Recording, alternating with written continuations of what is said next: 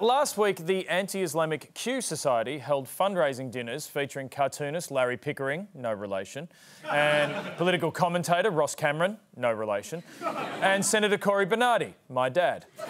Conservative Senator Cory Bernardi has denied any wrongdoing after attending a hotly protested anti halal function in Melbourne last night. There was a similar function in Sydney on Thursday where political cartoonist Larry Pickering made a series of stunning anti Muslim and homophobic comments. Larry Pickering reportedly joked to the audience that Muslims weren't all bad because sometimes they threw gay people off buildings. The comments that were made there, I have to say, no matter how much I celebrate freedom of speech, they were absolutely out of line.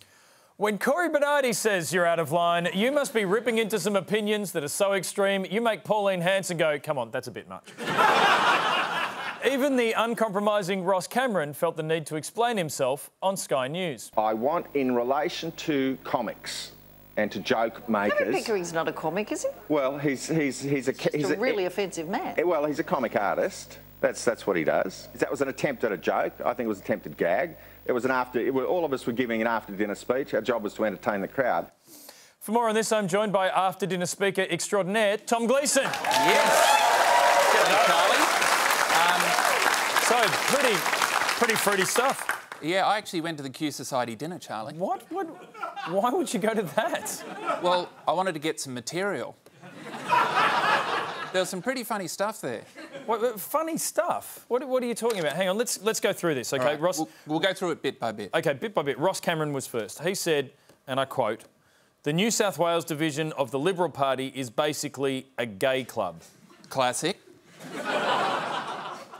I don't mind that they're gay. I just wish, like Hadrian, they would build a wall." I don't even get that, but it's good.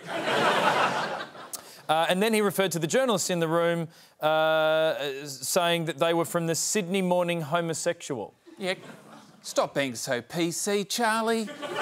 You can have a morning homosexual in Sydney. It's 2017, mate. Relax. All right, well let's let's uh, let's have a look. I mean, surely you can't defend Larry Pickering, no relation, uh, who said, "Let's be honest, I can't stand Muslims. Classic. If they are in the same street as me, I start shaking. I don't get it, but it's good. They're not all bad. They do chuck pillow biters off buildings." Yeah, I, uh, I don't know about that one, to be fair. I... But are they really jokes, Tom? Well, it, it doesn't matter what you or I think, Charlie. It doesn't matter. That's why I took those jokes down to my local comedy club and I let the audience decide. Yes, hello. How are you, Comics Lounge? You good? Yes. Are there any Muslims in tonight? Any? No, it's probably a good thing. Okay. Well, let's be honest. I cannot stand Muslims. I can't. I can't. When I see them in the same street, I start, I start shivering. I do. Oh well, they're not all bad. You know, they they do chuck their pillow biters off buildings. Okay, I've lost you there. Um, but you all been eating too much halal food, have you? all right, I'll, I'll try something else. Let's see if this one you, wins you back. Here we go. the New South Wales division of the Liberal Party are basically a gay club. I mean, I don't mind that they're gay. I just wish, like Hadrian, they would, you know, build a wall. No, I feel like I'm losing you. Um, what's wrong? Are there no Hadrian fans in tonight? No, no. All right, this is going to get a shit review in the Sydney Morning Homosexual, that's for sure. I can't believe you actually did that. Like you went and died. Yeah, on my hole. Yeah, that was terrible. Yeah, I know. I went down there and. I did their jokes and, and didn't get many laughs because it turns out the silent majority is a bit too silent.